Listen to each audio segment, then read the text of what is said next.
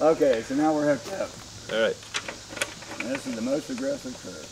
Most aggressive curve with 10,000 RPMs. But that don't mean the engine's going to do 10,000. The carburetor's probably wouldn't support It doesn't. 10,000. Uh, Well, hopefully you never would hit it. Okay, again, folks, seen how that I smashed all the park, spark plugs shut, went for a ride, it did pretty well. Now I've got them set at about 30.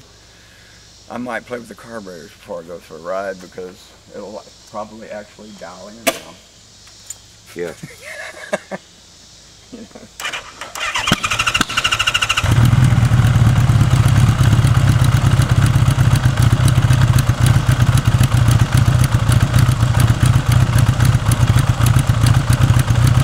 You might want to might want to wait until you get back so the daggone thing's warmed up. I'll do that. I mean, I noticed you gave it throttle when you were starting it. I, I I'm just saying, ty- typically on, on a stock Goldwing, you would have no, you would use no choke and absolutely no throttle.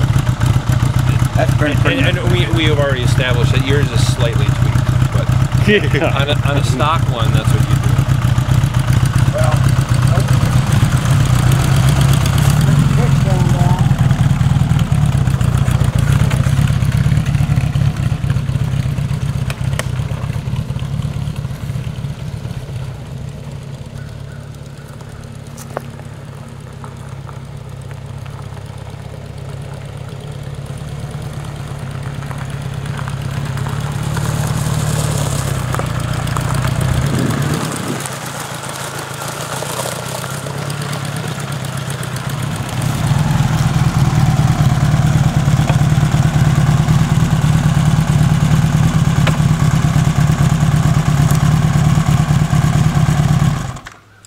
was it?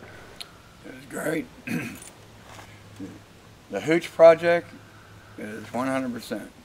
I'm sure there's some fine tuning to go on, but whatever it is, I've never been able to experience such a fine level of tuning, fine level of running, and I've got a lot of time into twisting knobs and making things right, this, that, and the other.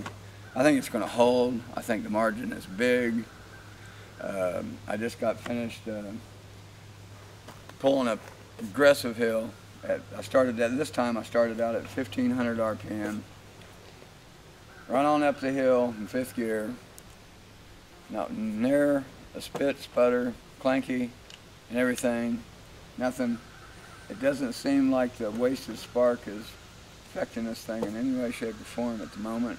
You know, this is all, I've only went around the big block, but at the moment, I couldn't force it to spit. I tried.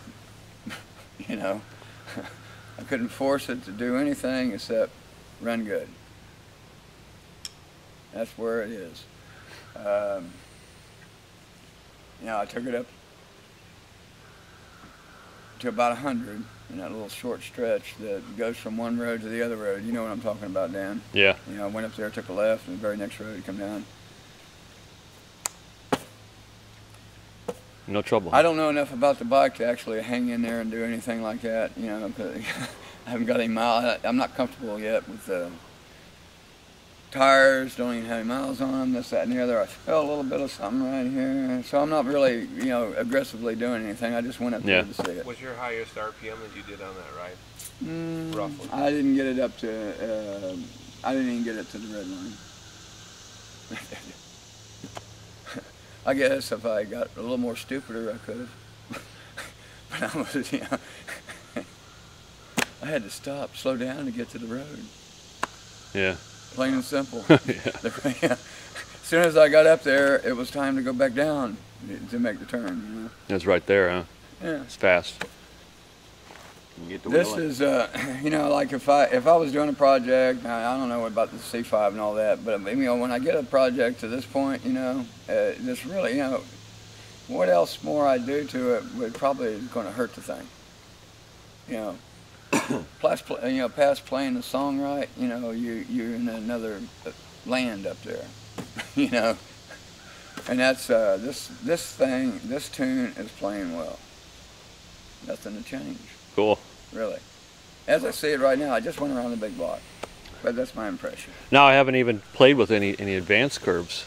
well, it's in the most aggressive mode, you know. I know But- the carbs ain't dialed in because the, the reason why the carbs ain't dialed in is because I smashed the plugs flat. And, uh, you know, man, this thing ain't adjusting like it did yesterday. Your your max advance is uh, what, 38.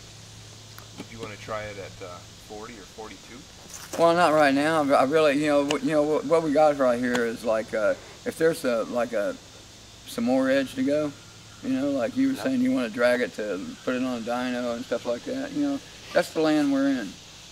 Well- you know, Why not, why not go ahead and have him, have him change, change one curve to forty-two and see. Let's see what it does. it's Like, and if, See what while he's still is. here, What it, Oh, okay. Well, I mean, I'm all, I'm right all back. for that. I'm just saying it's not like uh, like, you know, I'm, you know, I'm expecting. It's almost it's almost like it doesn't even need it now. Huh? No, I mean, it's already got more than I can actually deal with as far as like um, being sane.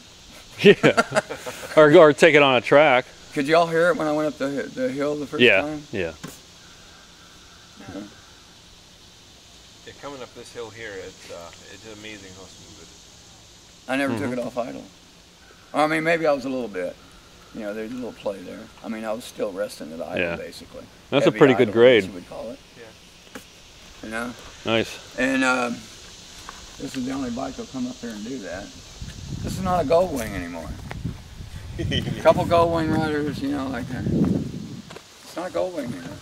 yeah, it is. It's got all the torque that. Uh, Well, now it's now it's now it's what uh, Honda should have made it. I guess it, it's just like uh, anybody that's rode a wing for a long time ride this and think that they're on a different bike. Plain and simple.